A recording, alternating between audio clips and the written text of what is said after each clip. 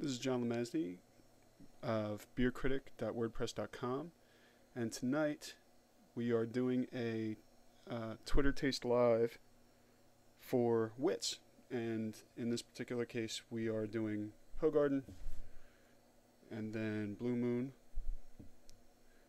and then Ommegang's Wit, and then we have uh, Harpoon's UFO Hefeweizen. So, should be a very nice tasting, and I'm looking forward to seeing lots of friends on tonight.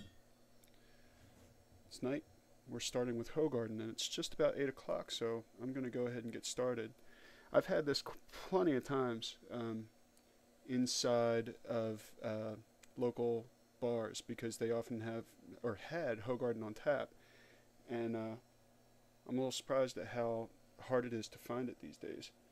But um, I think it's a pretty good offering for a uh, commonly available brew. And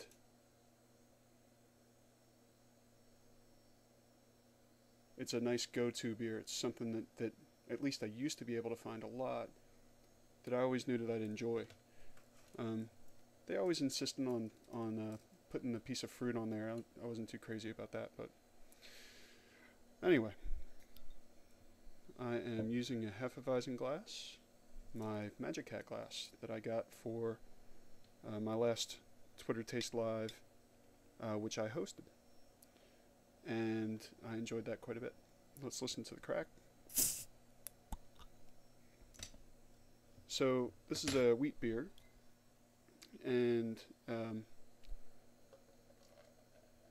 typically it has a pale yellow body,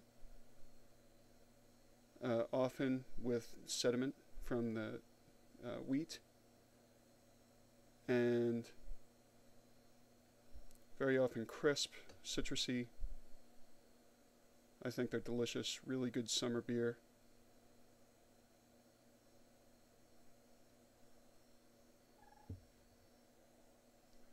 So let's take a look at some of that color.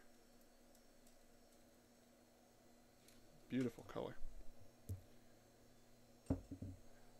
Um, this is not especially high ABV. I think it's actually less than uh, 5% ABV. So I expect that this will be a lighter tasting. You know, nothing like the dogfish head tasting that we did a while back. Um, but should be enjoyable nonetheless. Nice thick fluffy head. No. Let's taste.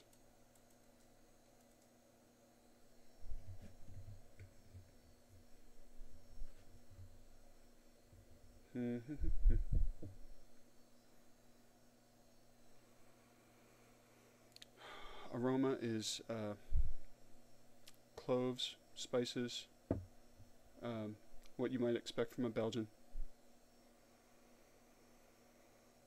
And um, definitely some banana going on there.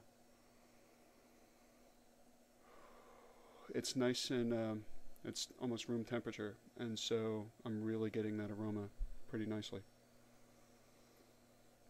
Let's go ahead and taste.